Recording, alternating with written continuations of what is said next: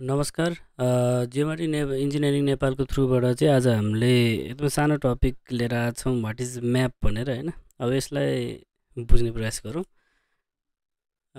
Generally डेफिनेसनको कुरा गर्दाखेरि चाहिँ अब नम्बर अफ डेफिनेसन्सहरू चाहिँ छन्। अब मैले यहाँनिर दुईवटा डेफिनेसन लिएर आएको छु। सर हेर्दाखेरि the graphical representation of the features natural and artificial present on above or below the surface of the earth भनेको चाहिँ म्याप हो भनेर चाहिँ हामीले जेनरली बुझ्छौँ। बेसिक कुरा गर्दाखेरि चाहिँ अब यो म्यापलाई के बुझिन्छ भन्दाखेरि काइन्ड अफ ग्राफिकल रिप्रेजेन्टेसन हो होइन?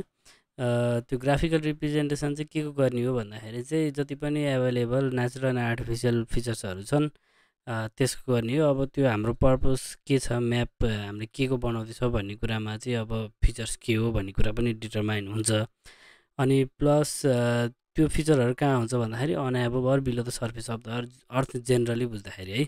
अब त्यही कुरालाई चाहिँ अब हामीले यदि हामीले ग्राफिकल रिप्रेजेन्टेसन गर्न सक्यो भने त्यसलाई नै जेनरल बेसिक भन्दाखेरि चाहिँ म्याप भनेर भनिन्छ।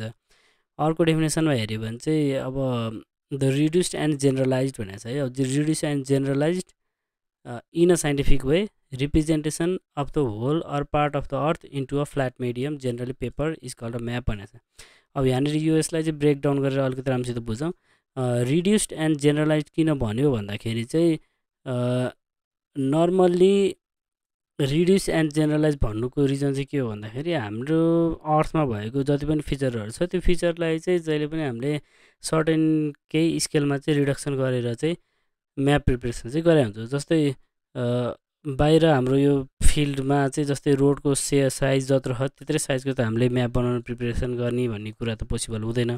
त्यो पोसिबल नहुने भइसकेपछि अब त्यसलाई चाहिँ हामी जेनरली के गर्न सक्छौँ भन्दा जस्तै one is two thousand one is to two thousand one is to ten thousand one is fifty थाउजन्डको रेसियोमा चाहिँ हामीले के गर्न सक्छौँ त्यो जस्तै रोडको लेन्थ सर्टेन केही ट्वेन्टी मिटरको छ भने अब ट्वेन्टी मिटरको पेपर ल्याएर मैले म्याप बनाउने भन्ने कुरा त हुँदैन होइन? त्यो अलिकति प्र्याक्टिकली पोसिबल नहुनसक्छ अब डिजिटल मिडियममा अलिकति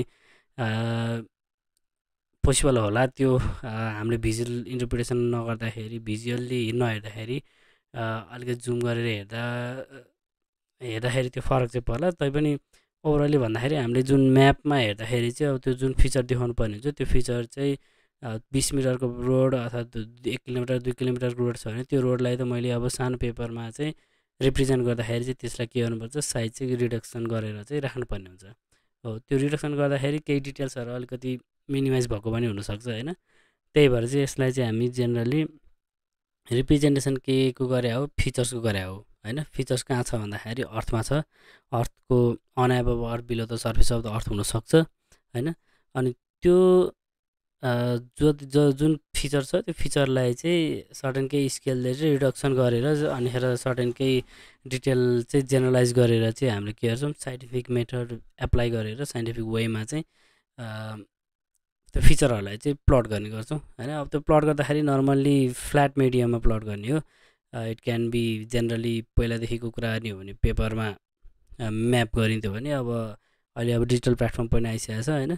डिजिटल प्लेटफर्म युज गरेर पनि त्यो म्याप चाहिँ हामीले प्रिपरेसन गर्न सक्छौँ।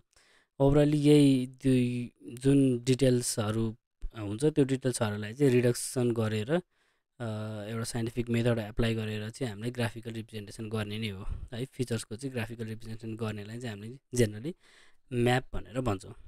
अब धेरै टाइप्स अफ म्याप्सहरू हुन्छन् होइन? त्यसमा अब मैले जस्ट तिनवटा इक्जाम्पल चाहिँ लिएर आएको छु टोपोग्राफिकल म्याप थेमेटिक म्याप र क्यारेस्टल म्याप भनेर। अब टोपोग्राफिकल म्याप भन्यो भने जेनरली अब के भन्न सकिन्छ भन्दाखेरि जति पनि हाम्रो यो टोपोग्राफीमा एक्जिस्ट गर्ने जति पनि फिचरहरू छन् जस्तै फर इक्जाम्पल रोड्स हुनसक्ला फरेस्ट हुनसक्ला रिभर हुनसक्ला लेक हुनसक्ला होइन? नम्बर अफ फिचरहरूलाई चाहिँ हामीले के गर्ने हो? टु डी प्लेनमा भनौँ अथवा जेनरली पेपरमा भन्नु पनि सक्छ डिजिटल मिडियम कुनै एउटा वेमा चाहिँ हामीले के गर्ने हो प्रोजेक्ट गरेर चाहिँ राख्ने हो। है त्यसैलाई त हामी टोपोग्राफिकल म्याप भन्छौँ। त्यस्तै अर्को इक्जाम्पल थेमेटिक म्याप छ। थेमेटिक म्याप भनेपछि एउटा कुनै थिमलाई लिएर चाहिँ म्याप बनाउने जस्तै अहिले रिसेन्ट केसमा अब कोभिडको आउटब्रेक भयो होइन अब नेपालमा चाहिँ को कोभिडको आउटब्रेक चाहिँ कसरी भएको छ कति कहाँनिर धेरै केस छ कहाँनिर थोरै केस छ भनेर मैले एउटा राम्रो जेन डिटेल्ड म्याप त्यो एउटा थिममा बसेर बनायो भने चाहिँ त्यसलाई हामी चाहिँ थेमेटिक म्याप भनेर भन्छौँ। र अर्को एउटा अर्को इक्जाम्पल छ क्यारेस्टल म्याप भनेर। अब क्यारेस्टल म्याप भन्दाखेरि चाहिँ के बुझिन्छ भन्दाखेरि अब जस्तै ल्यान्ड चाहिँ नेपालको सिनारीमा प्राइभेट ल्यान्डहरू पनि छन् पब्लिक ल्यान्डहरू छन् होइन? अब मान्छेहरूको जग्गाहरू चाहिँ यो मान्छेको यो जग्गा यो मान्छे यो जग्गा भनेर छुटेको छ। अब त्यो छुटेको जग्गा चाहिँ कसरी कुन बााउन्ड्रीमा बेस लाइन कुन बााउन्ड्री लाइन बनेर चाहिँ मान्छेहरूको जग्गा छुटेको छ होइन? जस्तै यतापट्टिको जग्गा मेरो उतापट्टि जग्गा उसको भनेर चाहिँ चिनाइदिनको लागि चाहिँ पार्सलहरू क्रिएसन गरेर चाहिँ म्याप जेनेरेसन गरे हुन्छ। त्यसैलाई चाहिँ हामी क्यारेस्टल म्याप भनेर भन्छौँ है? अब यही हो अन्त अझै योभन्दा एकदमै धेरै टाइप्स अफ म्यापहरू चाहिँ एक्जिस्ट गर्छन्। अहिलेलाई चाहिँ जस्ट बेसिक इक्जाम्पलको लागि चाहिँ यी तिनवटा म्यापहरू चाहिँ मैले देखाएँ। Thank you.